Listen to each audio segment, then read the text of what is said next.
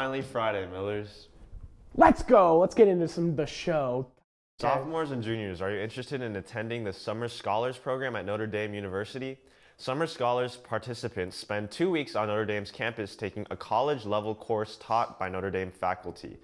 Financial aid is available and the deadline to apply is admission is February 13th. Visit precollege.n.edu for application materials for, and for more information. Students interested in traveling to Germany, Switzerland, France, and the Netherlands over spring break 2024, there will be an informational meeting Tuesday, December 6th at 7 p.m. in Mrs. Gilbert's room. See Mrs. Gilbert in room 2210 for trip information.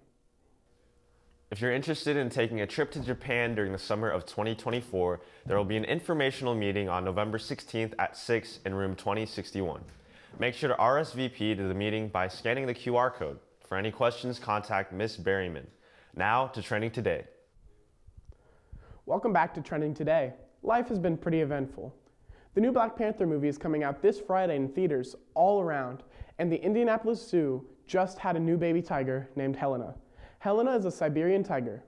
That's all for Trending Today. Now let's toss it over to Meetings with Sane. Key Club is holding a meeting during AL on November 11th in the LGI room. Request an e-hall pass from Mrs. Obremski to attend. Students for Life will be meeting on November 17th during AL in room 1247. Request a pass from Mrs. Ellis to attend. The Fashion Club is having a meeting on November 15th in room 1254. Again, request an e-hall pass from Mrs. McCann before the meeting. The Film Production Club is holding a call-out meeting today in Mr. Kenley's room, 1203, during AL. Request an e-hall pass to attend. Who's ready for sports? I guess. All right, let's go to sports then. Good morning, NHS, and welcome back to Fine Arts Friday. For our news this week, Wind Ensemble, one of the bands, is performing next Friday at East Middle School. And the theater department's production of Chicago is next Thursday, Friday, and Saturday at 7 p.m. each. Get your tickets now at nhscpo.org. This Monday and Tuesday, there's going to be the indoor percussion tryouts. Show up from 4 to 6. And that's all the news, so it's time for our guest artist, the marvelous Mitra Morgan.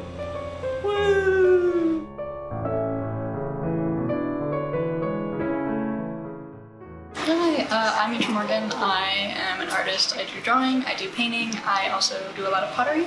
I've been drawing since I was about 10 years old. Um, I started drawing because my sister used to do a lot of drawing. And I would always like look at her sketchbooks and I thought it was like just the coolest thing ever. And so I started drawing myself. I didn't really start painting until about a few years ago, maybe the beginning of high school. And then I started doing ceramics um, last year in Ceramics 1 and I just thought it was a lot of fun. Um, I love making art a lot because I find it's a really methodical process, and so it's really relaxing to do it, and also being able to like look at something that you've made and like feel a lot of pride because you really like it, and it's usually turned out pretty well. Um, I think that's pretty cool. Um, yeah. Wow, she was a really arty artist. That's it. Peace out, NHS. Peace out. It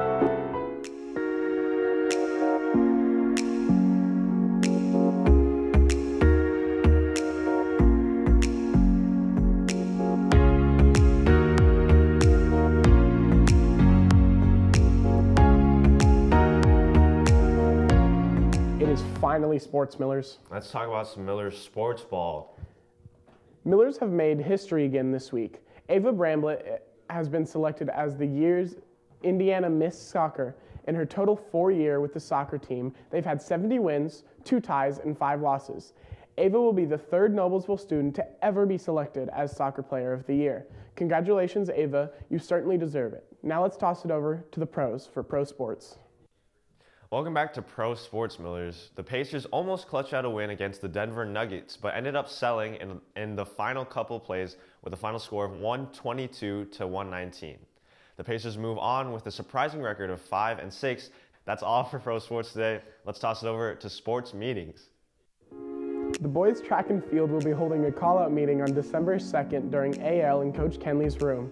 You can request a pass from Coach Kenley or Coach Muvik to attend. If you can't attend or need any more information, contact Coach Glob. Goodbye, Millers. Oh, and in case I don't see you, Good afternoon, good evening, and good night.